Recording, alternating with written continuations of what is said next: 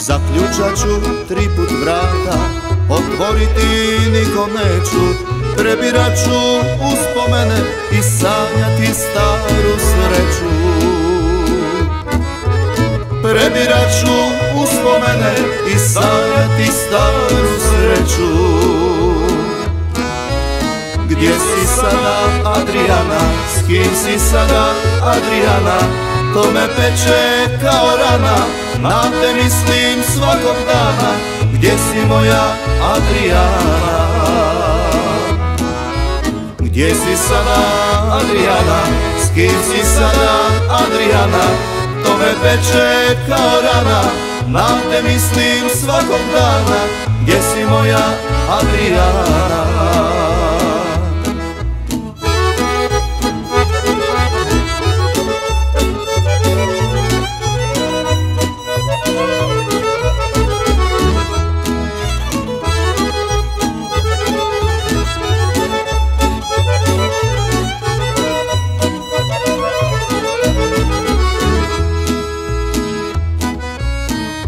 samoći hladne sobe Dok se vuku duge noći Plakat ću za tobom gorko A ti nikad nećeš doći. Plakat ću za tobom gorko A ti nikad nećeš doći. Gdje si sada Adriana S kim si sada Adriana To me peče kao rana na te mislim svakog dana Gdje si moja Adriana Gdje si sada Adriana S kim si sada Adriana To me peče kao rana. Na te mislim svakog dana Gdje si moja Adriana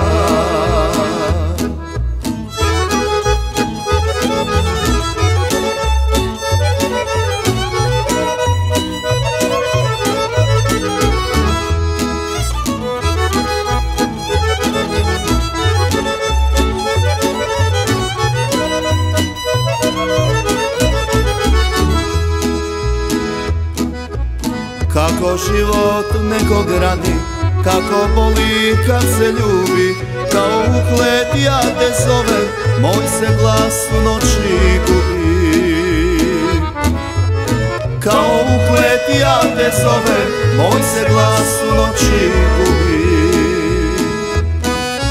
Gdje si sada Adriana S kim si sada Adriana To me peče kao rana na te mislim svakog dana Gdje si moja Adriana Adriana, Adriana S kim si sada Adriana To me peče kao rana? Na te mislim svakog dana Gdje si moja Adriana Gdje si moja Adriana Gdje si moja Adriana